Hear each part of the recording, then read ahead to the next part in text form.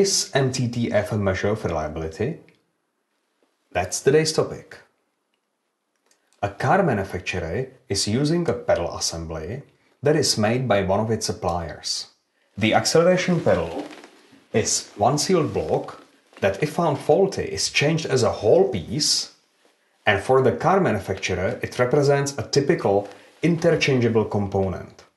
Unfortunately, the electronic components within the pedal assembly were of lower reliability than it was expected which cost the car manufacturer a significant amount of money due to warranty claims. At this point, about 4% of cars developed the failure within the first year from the sale date.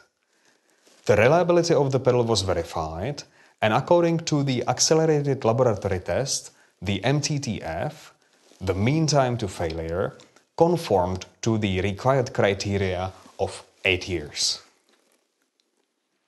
As the problem was progressing, the action team decided to change the electronic parts of the pedal and the way these were positioned within the assembly to reach a newly set increased target of 10 years. The improved design was successfully tested for the new target and implement it to production. Up to this point, the team solved the problem successfully. But after about eight months from the start of the production, the cost of the warranty claims for the pedal assembly was still on about the same level, and according to the data, the failure rate even increased to about 6% within the first 12 months. Not surprisingly, the reliability is from the beginning to the end dependent on the use of statistics as the time for which the components are actually functioning is a typical random quantity. From the statistical point of view, the reliability in general is not very different from the other problems. There are some special approaches, but in general, there still are metrics, distributions, quantiles, estimates. But the real challenge is the engineering part. Due to a complex nature of possible failures, the reliability is not very intuitive. It is especially important to pay a close attention to cooperation and agreement between the technical problems and their possible statistical solutions. The statistics is always a supportive science which can never substitute the technical competency. But the more advanced is the technical competency, the higher are the benefits from the use of statistics. The investigation of the problem was actually easier than one may expect. In this case, it was not necessary to review the relevancy of the laboratory tests, which is usually the most puzzling problem, but it was necessary to challenge the way the reliability itself was measured. As it was mentioned, the reliability here was expressed as a mean time to failure, which is a metric commonly used for non-repairable components. Its calculation is quite easy.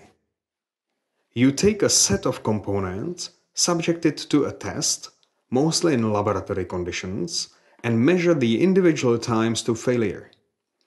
The mean time to failure is just the average of the individual times. In the real world, we usually don't have all components failed, so we need to account for those that survive till the end of experiment termination as a censored observations. Many times we need to combine data from various sources like our different types of laboratory tests, real condition tests, and customer application reports. And also, the time to failure can seldom be approximated by normal distribution. So the calculation of the confidence bounds of the MTTF is not as straightforward as it is, for example, in the measurement system analysis. The key for understanding the reliability is the statistical distribution associated with the time to failure.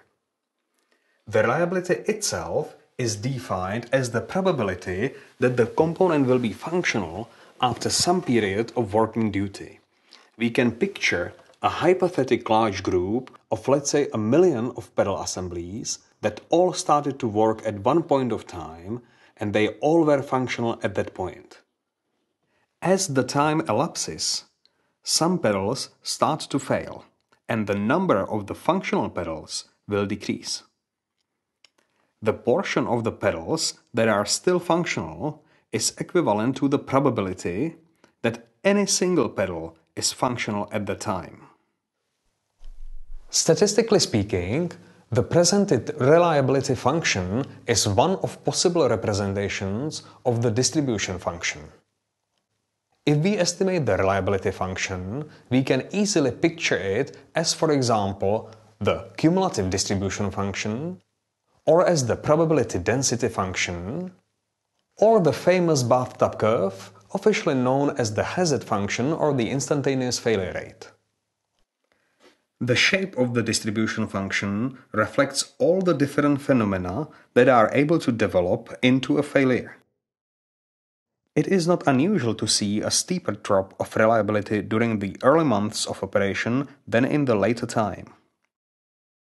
I exaggerated the presented picture compared to the real situations for the sake of the presentation. We usually need to zoom into the early months region to see what is happening. If we compare the reliability curves of the pedal assembly before and after the improvement, we can clearly see significant improvement in the mean time to failure. But if we zoom into the upper left corner, we can also see a drop of reliability. Actually, at the time of 12 months from the sale date, the drop of reliability from 96 to 94.5% corresponds exactly to the observed failure rate increase from 4 to 5.5%.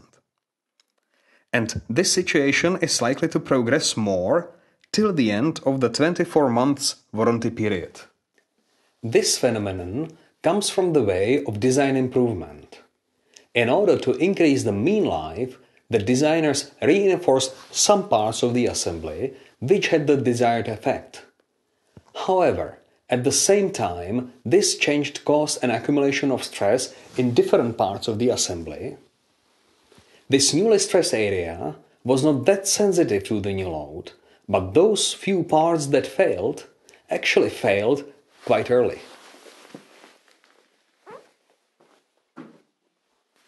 The reason the team did not see the unfavorable effects of the improved design lies in an inappropriate definition of the reliability target. The mean life which was used here is reached at a point of time that is very distant. And that is of little interest both from the point of warranty coverage and customer expectation. The customers are likely to accept when an 8 or 10 years old car develops a failure. What we really need is a high reliability in the defined interval from the beginning of life. And the high reliability is certainly higher than the 40 or 50% at the mean lifetime. The solution must therefore begin with a redefinition of reliability target. We can do that by setting certain fixed points in time and a minimal reliability at those points. Let's say that we want to have less than 4% failure rate by the end of the warranty period. We block out a part of the reliability graph to the left and down from the defined point. The reliability curve can now be anywhere in the region, but it must not interfere with the blocked area. Here is a picture of two examples which meet the criteria marginally. Now we have set a target in such a way that the design team can use it for the optimization of the product.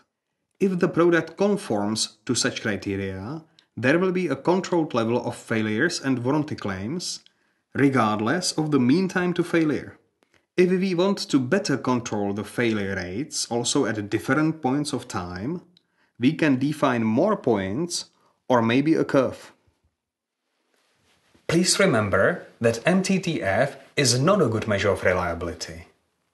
The improved MTTF may or may not mean an increased reliability at the time we need it, and it is therefore only confusing people who design or test the product. In most cases, the MTTF can do more damage than good. The technical, statistical, and economical approach to reliability problems can get the matter only so far. There is a level which needs to be addressed from the ethical and philosophical standpoint, and vice versa. The ethical aspects shall be accounted for in the technical and statistical solutions. Let us know what you think about it.